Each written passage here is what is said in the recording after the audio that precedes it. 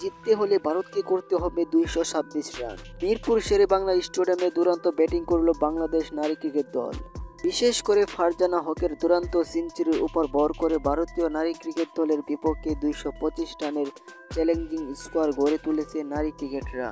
বাংলাদেশের হয়ে ওয়ানডে ক্রিকেটে এই প্রথম কোনো সেঞ্চুরি এলো কোনো নারী ক্রিকেটারের ব্যাট থেকে। প্রথম ম্যাচে দুইশো রান করেও দুরন্ত জয় পেয়েছিল বাংলাদেশ। ভারতীয় নারী ক্রিকেট দলের বিপক্ষে এই প্রথম ওয়ানডেতে কোনো জয় এলো বাংলাদেশের। তবে দ্বিতীয় ওয়ানডেতে বাংলাদেশ হেরে যাওয়ার সিরিজে এক এক সমতা বিরাজ করেছিল। আজ সিরিজের শেষ ম্যাচটি পরিণত হয় অগতিক ফাইনালে। এই ম্যাচটিতে টস জিতে ব্যাট করতে নেমে অসাধারণ ব্যাটিং করলেন ফারজানা হক।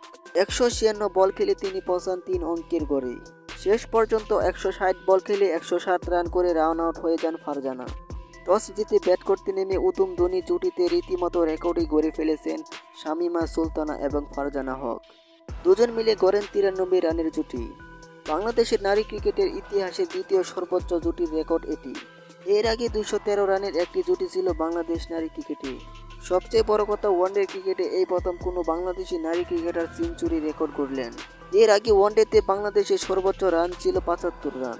দুই হাজার তেরো সালে ভারতের বিপক্ষে করেছিলেন সালমা খাতুন। এবার সবাইকে সারিয়ে শীর্ষে উঠে গেলেন ফারজানা হক। শেষ পর্যন্ত আটাত্তর বলে বাউন্ন রান করে শামিমা সুলতানা আউট হয়ে ভেঙে যায় তিরানব্বই রানের জুটি। শামিমা সুলতানা আউট হলেও অন্য প্রাপ্ত ধরে খেলতে থাকেন ফারজানা হক।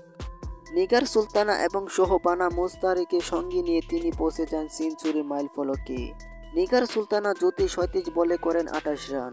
বাইশ বলে তেইশ রান করে অপরাজিত থাকেন সোহবানা মুস্তারি।